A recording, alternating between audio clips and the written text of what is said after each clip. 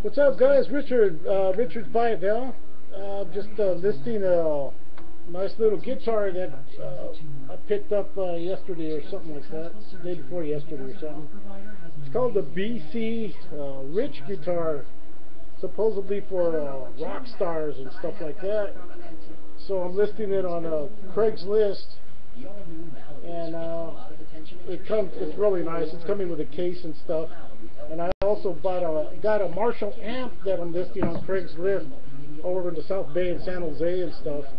But I thought I'd make a quick video to show you guys uh, how we list it. Oops. Let me get this over here.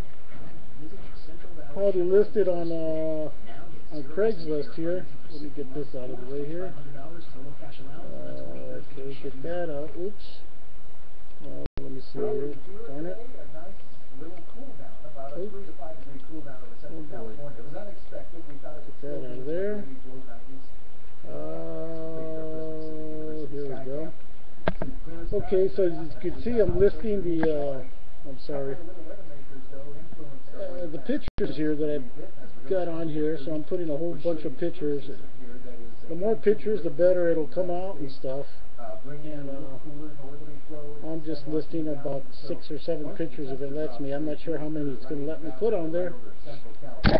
But I'm hoping it comes out pretty good. So we'll see what happens with this one. And I had a friend of mine come over from uh, Manteca or Modesto yesterday. Uh, great guitar player. And uh, he uh, he approved of it. He said it's, it's in great shape, works good. Uh, no problems as far as he could see. So we're going to put a $450 or best offer on it and uh, see what kind of offers, what, what kind of uh, response we get on it. Yeah, we'll see if it works out, see if we get rid of it. And I think there's six pictures there. Let me see how many I got here.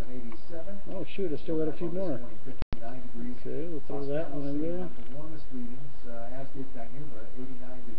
I think it lets you list quite a bit of them. That's pretty cool. Okay. Um, this case. Case was a little bit, uh, had rips on one side. I guess the guy that used this, uh, shoot, where's it at? Uh, that's the good side of it right there. So let me see if I can find the other side. Oh, I guess that's it. Okay, so we go next to continue. Oh shit, I think we're done there. Anyway, uh, we'll see how that works out there, guys. Um, uh, let's see where we're at here. And you gotta excuse me here, because I'm just, uh, anyway. Okay, uh, anyway, we're gonna see what kind of profit we get off of this one. And, uh, I don't know, Craigslist, Craigslist works pretty good. Uh, as a matter of fact, tomorrow I got a bar in the garage, a beautiful bar. It's uh, four-piece solid wood. I think it's walnut. I got to make sure tomorrow. And I threw in some crystal glass with it, the cups, the margarita glasses, the beer mugs, and shot glasses, and all that stuff. So I'm going to throw those in to whoever buys that one, and uh, I'll be listing that and see what kind of response we get on that. And uh, anyway, just a short video let you guys know I'm, uh, I'm trying to move some merchandise here. And like I said, I put that Marshall amp on there. And uh, let me go grab that other guitar and show it to you guys also.